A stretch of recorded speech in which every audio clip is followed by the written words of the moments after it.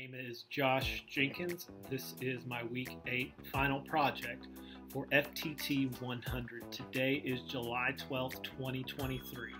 For part one of my final project, I'll be using my Glock 43X. It was manufactured in 2019. Uh, it is a semi-automatic striker-fired single-action uh, weapon. Uh, it's mag-fed and it also has what they call a safe action finish. For part two of my final project, I'd like to go over uh, the cycle of operations. But before we do anything else, we have to make sure that this weapon is clear and safe. As you can see, given folks, there is no ammunition anywhere on my, uh, my table here. So first thing we're to do is we're to point in a safe direction, and we're going to hit the mag release. I'm to drop the magazine, see that there's no, am no ammo in it whatsoever. We're going to lock the slide back. And look down, do a visual and physical examination. See that there's no ammo in there. We'll release the slide. Again, pointing in a safe direction.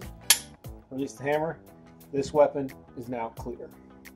Now to help demonstrate the cycle of operations, what I'd like to do is I'd like to use some snap caps. Got a couple right here. These are simulated rounds that allow uh, the testing of the cycle of operations. So we're going to load up a couple. And we're going to try to do this without this jamming because this gun is pretty pretty dirty, and so that's that's parts uh, that's parts three and four. So so what we're going to do is we're going to take our simulated snap caps. We're going to put it up into our mag well. And the first, and this is going to be our feeding and chambering. So we're going to pull back on the slide. The round's going to sit there. It's to start to feed in there ever so slightly, and now it's in. And now, as it was feeding and chambering, it's now locked. And as you can see, got a little, oh, you see that? Look at that. Had a failure to feed right there. So let's see if we can eject that real quick. This is a great way to get that done. Eject that round. Let's try that again.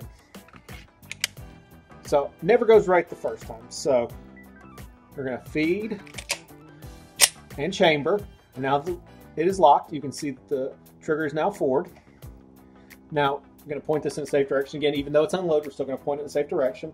And you should hear a distinctive click with this snap cap. That's the firing portion of this. There you go. Now I'm going to release.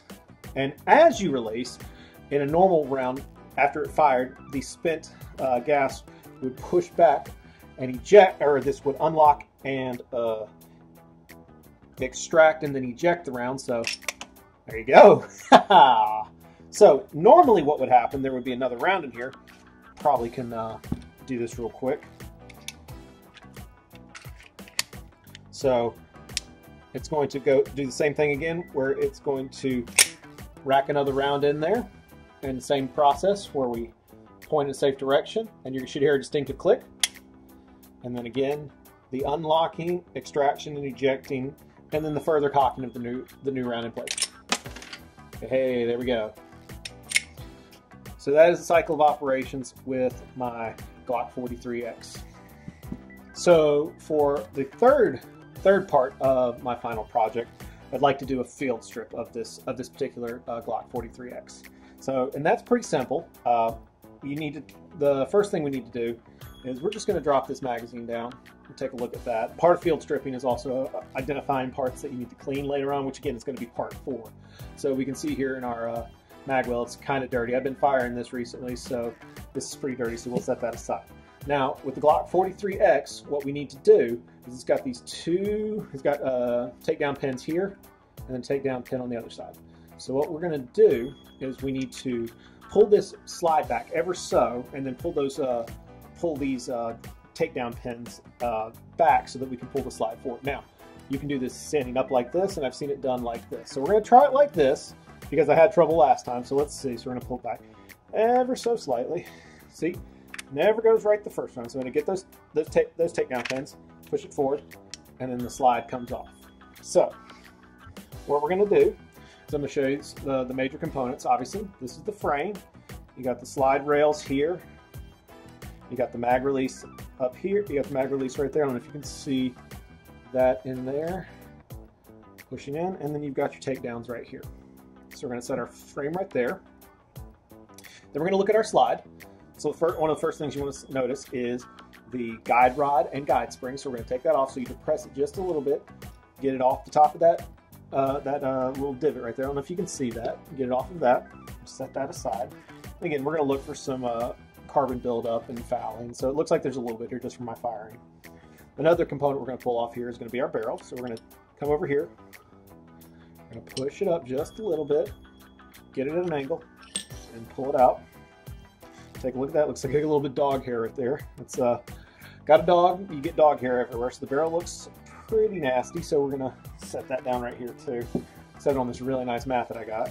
And then of course we have our slide, which houses our firing pin uh, here as well. So that right there is a field stripped Glock 43X.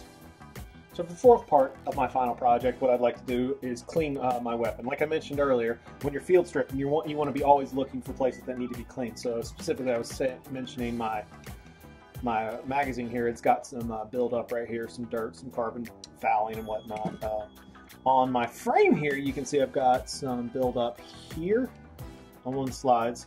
Got some back here, and it looks like I've got some dirt down in the mag mag well too. So I'm gonna do that. The barrel, it's got it's got a fair amount uh, right there as well. So hopefully I get that to come into focus. Let's see, there we go. So I've got some buildup right here, definitely right there. So I'm just gonna see, got a clean finger. I'm just gonna grab a little bit right there. Oh yeah, yeah, it's dirty. So, so we're gonna do that. We're gonna clean that, and it looks like there's some uh, some dirt up, up around the firing pin area as well. Uh, the guide rod and spring, it looks like it's fairly clean, but we're still going to clean it anyway because we all need that. And like I said, the barrel looked pretty nasty. It had some dog hair on it, so we're going to do that. So what we're going to do is SDI provided a really nice cleaning kit too. Um, and you know, I'm going to use some of those tools in here, but I'm also going to use a couple of tools that I've personally used in my in my everyday. So what I'm going to do uh, uh, first off, I'm going to put gloves on because I don't like getting my hands dirty, and you know, we're smarter than that. All right. So what we're going to do first, uh, SDI did provide a couple of different cleaners.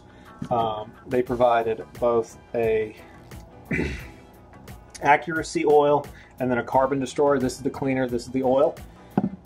Uh, I like to use uh, Lucas's CLP. Um, you know, you can get it in spray form or you can get it in this type of form right here.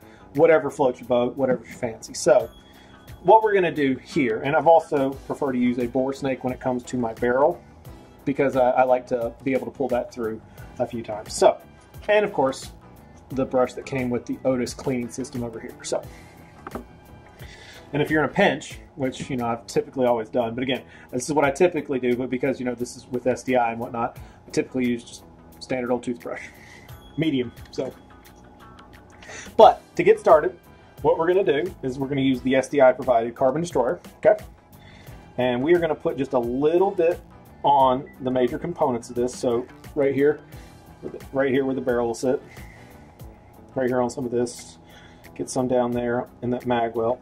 And then we're going to take the brush that we were provided and we're going to clean off those dirty areas. And already you can see how much cleaner that looks just from the just from that quick little uh, quick little uh, scrub right there. So what we're going to do is we're going to make sure that we have all these components cleaned up, get into all those little tight spots, right? Want to make sure that we get that done. So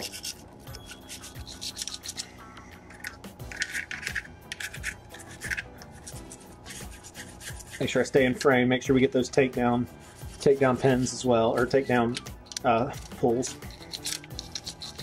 We also want to make sure we get into every little area we can, right?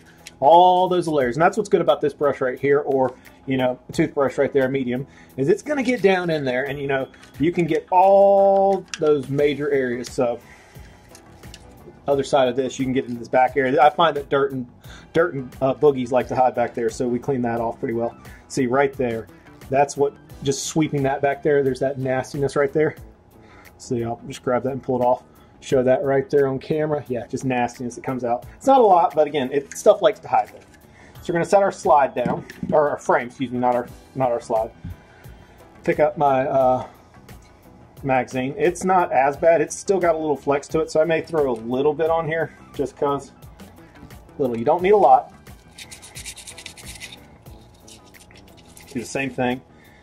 What we'll do is we'll push down, get some of that oil down there, and kind of help with that lubrication a little bit. But we'll use some of that that accuracy oil here in a little bit. But we'll just get down there and make sure we get that cleaned up too.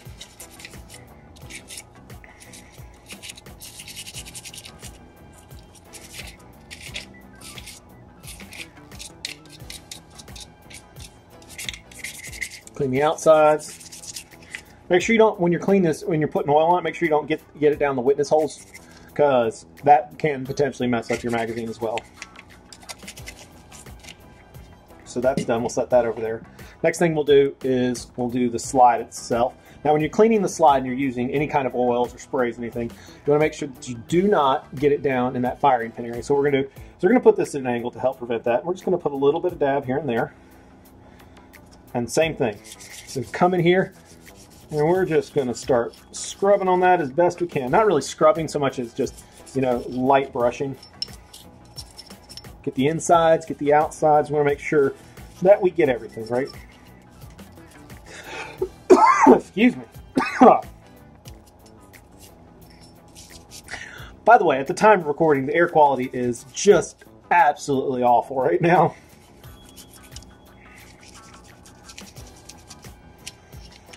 So we're going to make sure we get all these little grooves and everything as well. One side, other side, just make sure we get everything, right? Make sure we come on the outside too. All right, we're going to set that over here. Same thing with the guide rod and spring. A little bit of oil on it, not a lot. Little dab will do. And as I'm as I'm uh, doing this brush, I'm spinning it a little bit. This is how I was taught how to do it. You know, I don't know if that's the best way, but it's how I was always taught how to do it get the top, get the bottom. Now, I set my brush down. Now for the barrel, again, SDI provided a great cleaning kit within Otis, and again, it's it's I use it for other for other guns, but for this for handguns specifically, I like to use my bore snake, and that that in itself, and I'll show you what it is. It's literally just a long piece of nylon, right? And it's got these nice little brass cleaners on them, one, two, and three. And what it allows you to do it allows you to, well, first off, what I'm gonna do is I'm gonna put a little bit of this, this carbon destroyer on the front right here, this little bit right here, not a lot. And then what you do is you pick a side you wanna go from. I always go from the back to the front, take a little brass, little brass weight right there, pull it through, get it all the way up to the right there, get it all the way up to right there, and then you pull it through. And then once you get to that, it's that last little cleaning bit right there that pulls it all the way through too. Now, I was always taught to do this three times. You know, yeah, man, I always do it three times. She always told me. That's what Dad always told me was to do it three times. So I'm going to do that. That's that was one. That was two. And now this is three.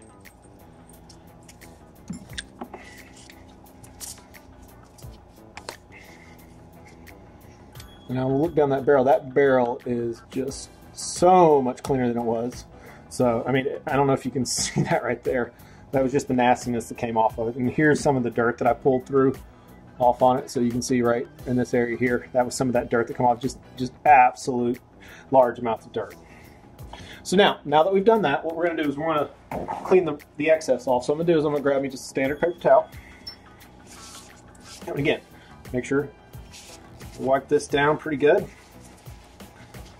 Get all the excess off because we don't need none of that excess.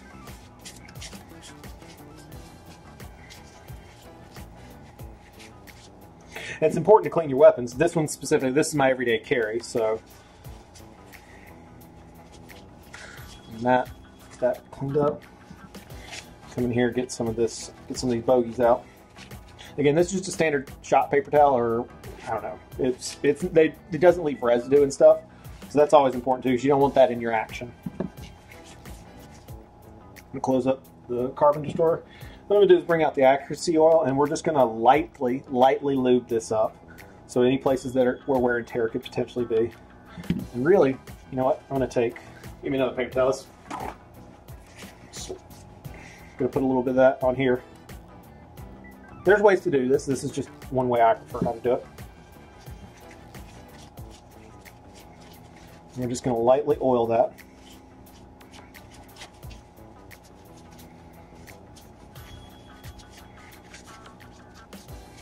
It's got that nice little sheen on it now.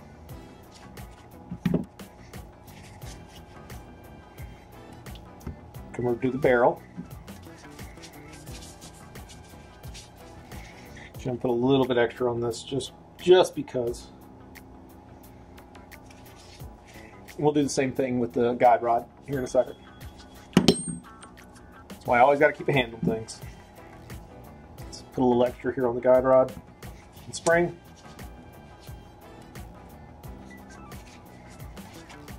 Okay. Then we're going to do the same here. Again, remember, keeping this at an angle because you don't want it getting down in there. So we're going to put a little bit on here.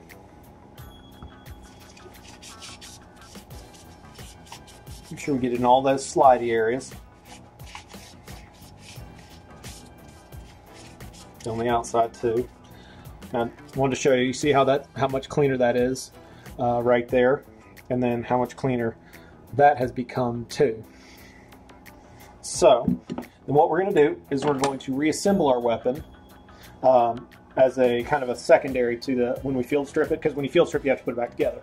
But, you know, in this instance, what we're going to do is we're going to put it back together and show, kind of reverse it. So what we're going to do, first thing we're going to do is we're going to take our barrel, or excuse me, our slide and our barrel, and we're going to just reverse the order of operation. So we're going to take our barrel, uh, put it in an angle, slide it in, we're going to take our guide rod, we're going to put this in, the fatter end goes towards this way. Again, like I said earlier, we're going to get it right over that notch, give it a little bit of pressure and pull it, put down. Make sure it's seated correctly.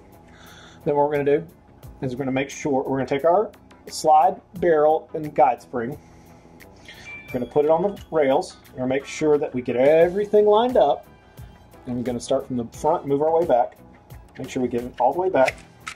Get it back here, that area right there, and then we're just going to hit the slide, slide it back. Make sure it seated correctly, and it did. Point in a safe direction, pull the trigger, and that weapon is now back together. So what we're to do is we're to do a final cleanup because there's some excess uh, oil that'll show up. So we want to make sure we get all that off because last thing you want to do is have a slippery gun in your hand. And that is a fully field stripped, cleaned, and then reassembled uh, Glock 43X. After you get done field stripping and cleaning, you need to do a functions check to make sure everything is completed. So what I'm to do is, uh, again, slide back. You can see that there is, yep, we get me in focus here. There's no magazines out. There's no ammo there. Upon a physical inspection, there's nothing there either. so we're to close that back. We're to close the slide back. In a safe direction, pull the trigger. So what we're to do is we're to go back and get grab one of our uh, snap caps again. Take our magazine with our snap cap. We're to try to load two this time, see if I can actually get this to work. Load it up, put it in the mag well, and then we're to go get one. Good. Nice, good snap. And then we're to eject that round. Snap cap, excuse me, not around. Get one coming, uh, have one get locked back into the barrel, ready to go. Safe direction, pull the trigger, listen to the snap. That's good. And then we're to eject. Slide stays open at, as it normally would. And then there you go. It looks like the functions of this weapon are correct. And we have correctly cleaned and reassembled our weapon.